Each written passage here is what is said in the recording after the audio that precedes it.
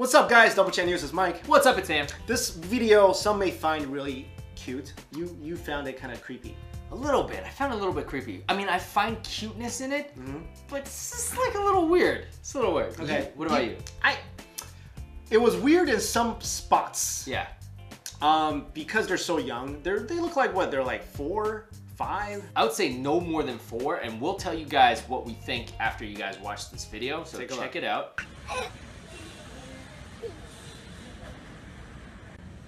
涵涵，你喜欢 baby 吗？喜欢你长大以后要娶她吗？要那你要跟她求婚吗？要求婚应该怎样？要这样然后说什么呢？，baby 我爱你，然后呢？亲下嘴，你要问她愿不愿意啊？你愿意借给我吗？然后要怎样呢？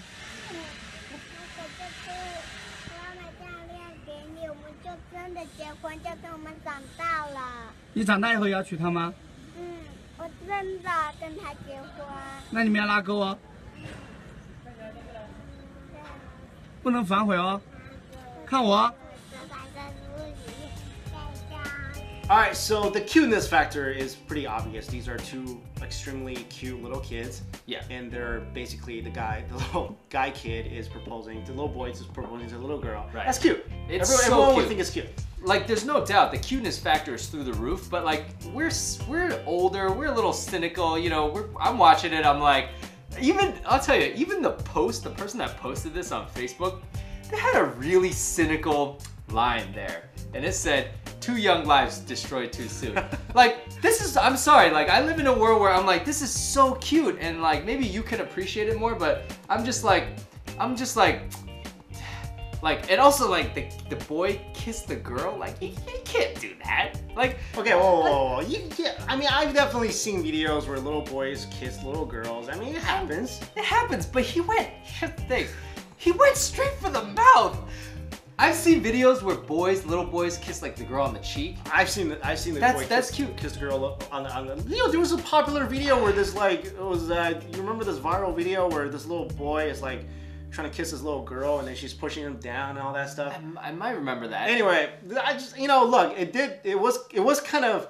All right, here's what kind of weirded me out a little bit. This little kid knew a lot. yeah his information is pretty. He's like, his parents were like, well, what do you do after that? He's like, well, then I then I marry her. Yeah. What do you do after that? Then I kiss her. Then I, I'm like, wow, this kid knows a lot for being like a little kid. he knew he knew how to get the dad was like how do you propose he's like I get down in one knee Yeah. uh, I put it, you know, whatever, and then I, I kiss the bride. Like, man, what, have you been watching something? Has your parents basically been teaching you? This is what this is why it's a little creepy for me. I mean, how do you know this at the age of four? But the cute factor is this: Yeah, they're they're both very obviously like each other a lot. that's right. They like they're they're that's the cute factor. They they both really like each other a lot. It, it's the innocence factor. Yeah. it's the innocence You can factor. tell from the little girl, she's really, you know, happy. She's like, I really like this little boy, and I wanna, I wanna eventually marry him. I wanna marry him now, or I, I wanna eventually marry him. And he's all very, he's very not Asian-esque. He's so not very, Asian-esque. He's very, you know, aggressively It's like, proposing, and then, and, and then I'm gonna marry her. yeah. So So the cutest thing, the cutest thing I found is when he took the girl's pinky mm-hmm. and he basically made like a promise to. Well, her. that's what the parents said. Parents are like, well, you gotta swear, pinky swear, Yeah. and then he pinky swore. So And this is where my cynical side comes in. I'm like, when you guys grow up, you're never gonna see each other. how do you know that? Come on. How do you know that? Because we don't live in a fairy tale, bro. Oh, oh, oh! You don't live in a fairy tale. Like, like my adult brain is is this is this. You know what I thought about? You're messed up. Let me you lost you- the magic in the world. I lost That's the what's magic. wrong with Ah, you. I, I lost a little bit of magic. Let me tell you what I thought of. I thought 20 years in the future, these two are gonna find this video. Neither of them have spoken to each other because they went off to college because they're not friends anymore. And they're like, oh, oh, look how cute we were. Yeah, That's what I yeah. think. Of. You know what happens in the world? Yeah. People win the lottery.